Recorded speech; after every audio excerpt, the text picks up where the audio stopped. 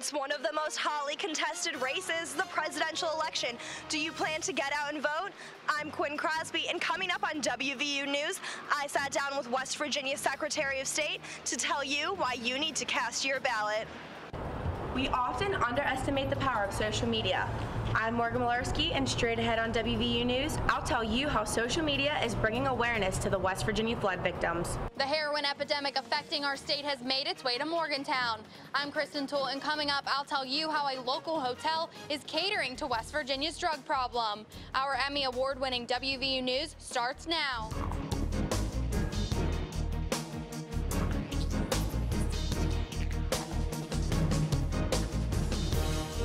Election day is getting closer and Democratic nominee Hillary Clinton's lead is beginning to shrink, along with the number of people at the polls. I'm Hannah Getz. And I'm Kristen Toole. West Virginia Governor Earl Ray Tomblin is seeking millions more from Congress to further flood relief efforts. These stories and more on WVU News, an Emmy Award-winning newscast produced by television journalism students right here at West Virginia University.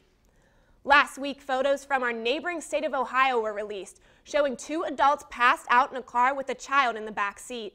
That's right, Hannah. And the cause of this scary image, an alleged heroin overdose. The drug is affecting many parts of the nation, with nearly 600,000 people nationwide addicted to heroin. But I learned more about how it's been especially damaging here in West Virginia. Ripped from the headlines. Heroin is an epidemic that has hit West Virginia hard. Star City police officer Ryan White says the Morgantown area is not immune to this addictive drug. We have a very serious problem here. It's killing, it's killing our families, it's killing everybody, it's killing our children, it's killing our elderly, it's killing our moms and dads. A hotel in Star City is catering to this heroin epidemic by accepting cash payments and not requiring photo IDs. Police say in the last 18 months, there have been 25 cases of drug overdoses at this location that led to arrests. CNN recently reported that in only four hours, there were 27 overdoses, including one death in Huntington, West Virginia. Officials believe the drug may be laced with fentanyl, making it particularly dangerous. And police right here in Morgantown say that type of drug has made its way here. With this laced drug on the market, heroin users in Morgantown are realizing how dangerous this habit can be. And they're warning people that the side effects are not worth the high. This is no fun anymore. Like, my physical health is, is shot, but uh, my mental health is what's what I would really like to have back now most. Uh, and that's what ultimately that's what heroin does. it just it takes everything from you. West Virginia is leading the nation in drug overdose deaths. And following recent events, officials say enough is enough. I mean, the kids are the saddest stuff. They're just total neglect.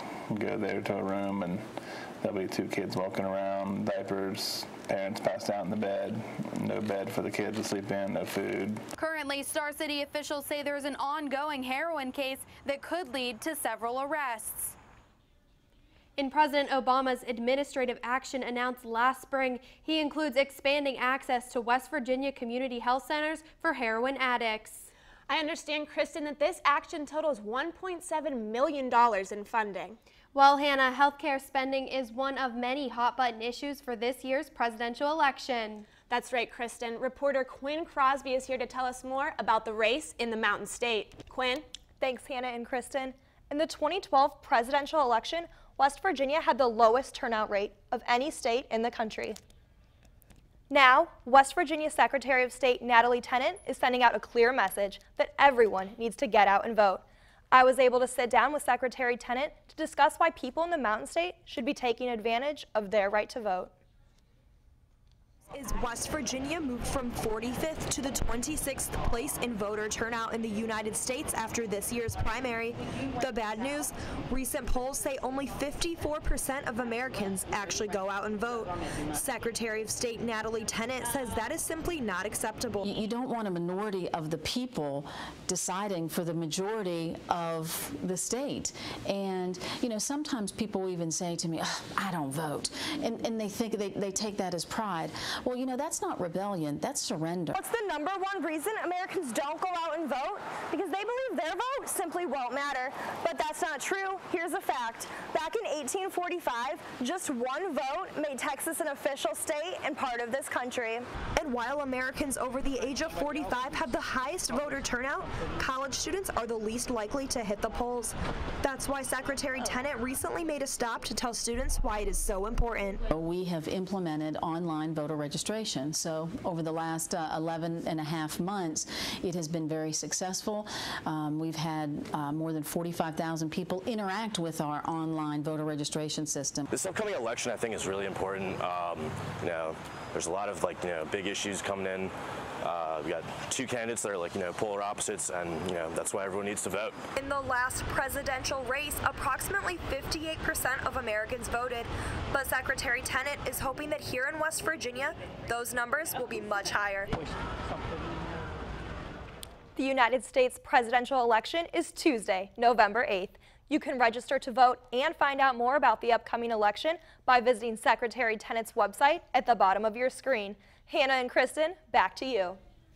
Thanks, Quinn. As the political race continues, Mylan Pharmaceuticals here in Morgantown has been getting the heat from Congress. Mylan's EpiPen is seeing a major price hike. Reporter Jacqueline Fenton is in the studio to tell us more about the latest outrage people are showing for the new price. Jacqueline? Thanks, Hannah and Kristen. Mylan is receiving plenty of resistance over the 400% price increase of EpiPens, and CEO Heather Bresch testified in front of Congress on Wednesday in response to the backlash. In recent weeks, people have been outraged and protesting over the price increase of EpiPens, from $100 for a two-pack to 600 bucks. Mylan CEO Heather Bresch says her company will release a generic EpiPen within the next few weeks, and it will be listed at $300 per two-pack. The original wholesale price of EpiPens before the price hike started was around 50 bucks. WVU News reached out to CEO Heather Bresch, but she did not return our calls or emails. Kristen and Hannah, back to you. Thanks, Jacqueline. Student health and safety is important to WVU as well. That's why Fall Fest this year was relocated from downtown to the Evansdale campus. After inspection of the Mountain Lair Plaza, engineers recommended that no large events should take place there due to visible structural concerns. The Green held 83 events just last year, one of those events being Fall Fest, where 20,000 students piled behind the lair for a free concert. WVU officials say that renovations will be made next year, but the concert may still not return to the downtown area. While the green is not structurally safe for large events, WVU officials say it's safe for everyday usage and smaller events. What does it take to rebuild after a flood? When historic flash floods devastated parts of southern West Virginia in June, residents turned to social media for help. That's right, Kristen. Hashtag West Virginia Strong has been a trending tweet since the floods. Morgan Malarski joins us now from Social Square with the latest in social media and pop culture news. Morgan? Social media has changed how West Virginians respond to breaking news. Images of Mother Nature's fury were posted to Twitter, Facebook, and Instagram, showing the devastation from the flooding. But social media has also been used to raise awareness. I took a deeper look into how social media has given flood victims hope again. The third deadliest flood on record hit southern West Virginia that resulted in 23 deaths and over 1,200 destroyed homes. 8 to 10 inches of rain fell over a period of 12 hours, resulting in Governor Earl Ray Tomblin to declare a state of emergency. From behind me, you can see the Mon River in Morgantown, which is about nine feet high. From just one day of flooding, the Elk River reached to about 27 feet, which is three times this height.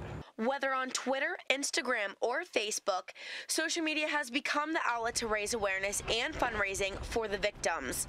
The hashtag WVFloods is being used nationally. On Twitter, thousands of tweets were posted by users to get the word out.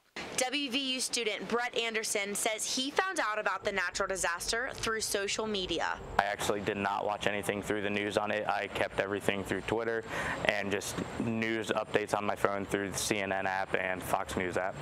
April Kaull, Director of News at West Virginia University Relations, explains the importance of social media during breaking news. A lot of people who maybe want to donate aren't near a television uh, and maybe aren't even near a radio. Social media can be the best platform to reach a large number of people very quickly and let them know how they can help because that's always the first question when a disaster happens. In addition to spreading the news, social media is also being used to collect donations for the flood relief. West Virginia native and country singer Brad Paisley began a GoFundMe page for flood victims that has raised over $700,000. The WVU Alumni Foundation is continuing to take donations as well at the GoFundMe website. You can visit the page and donate by going to the link on the screen. That's such a great story, Hannah. Thanks, Morgan. WVU was proud to have multiple Olympic medalists this summer. Sports reporter Ashley Rogers tells us all about the WVU student that won the first gold medal for the USA in Rio. I'm Ashley Rogers, and coming up on WVU News, I'll introduce you to an athlete who has achieved so much in just her freshman year. Ready to go? Sometimes the most important lessons are learned outside the classroom. Are we going the right way? When you chase the unknown, take a risk, and push beyond your boundaries. That's when you discover who you really are. Every journey starts with a first. Let's go. It's not every day that an athlete can say they're an Olympic gold medalist, Kristen. That's right, Hannah. Sports reporter Ashley Rogers is here to tell us about a 19-year-old mountaineer who brought home the gold. Ashley? Thanks, Hannah and Kristen. Many Olympians train all their lives for a moment on the biggest stage of sports, but the first time Ginny Thrasher picked up a rifle was in 2012. Four years later, she's an Olympic gold medalist and the third youngest USA women's shooting medalist. I found out what life is like for her after she got a shot she wouldn't miss.